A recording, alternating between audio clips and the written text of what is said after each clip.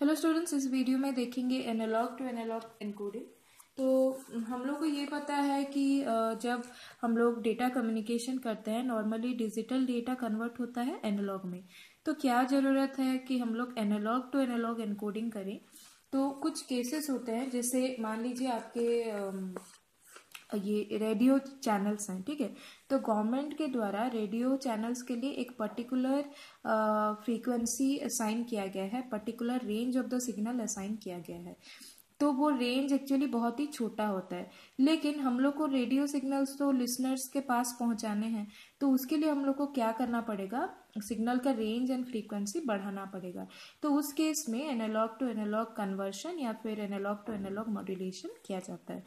तो वो भी तीन प्रकार के होते हैं एम्पलीट्यूड फ्रीक्वेंसी एंड फ़ेज़ कोई भी फ़र्स्ट टाइप के एनकोडिंग में सिग्नल का एम्पलीट्यूड हम लोग चेंज करके उसको रेंज बढ़ा सकते हैं या फिर किसी में फ्रीक्वेंसी चेंज करके या फिर किसी में फ़ेज़ चेंज करके। तो uh, पहले एम्पलीट्यूड मॉड्यूलेशन में आप देखिए। मैंने एक ऑडियो सिग्नल लिया है। ठीक है? तो ये जो ऑडियो सिग्नल है, ये एक नॉर्मल मॉड्यूलेटिंग सिग्नल है coming out of a data या फिर इंफॉर्मेशन और उसको जो कैरी कर रहा है, उसका फ्रीक्वेंसी ये है, ठीक है? लेकिन जब हम लोग एम्पलीट्यूड मॉड्यूलेट करेंगे, उसमें उसमें हम लोग को रिज़ल्ट में किस तरह का सिग्नल मिलेगा? आप देख सकते हैं, यहाँ पे amplitude of the given signal vary कर रहा है। कभी हाई है एम्पलीट्यूड फिर लो है, फिर हाई है, फिर लो है। तो ये this one is on the this uh, particular carrier frequency.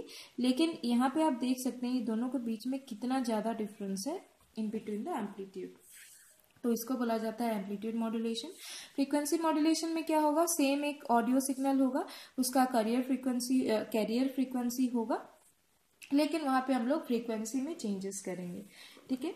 तो एम्पलीट्यूड मॉड्यूलेशन में फ्रीक्वेंसी और फ़ेज़ कांस्टेंट था, लेकिन फ्रीक्वेंसी मॉड्यूलेशन में amplitude throughout the signal constant रहेंगे फ़ेज़ भी कांस्टेंट रहेंगे, लेकिन फ्रीक्वेंसी में चेंज होगा।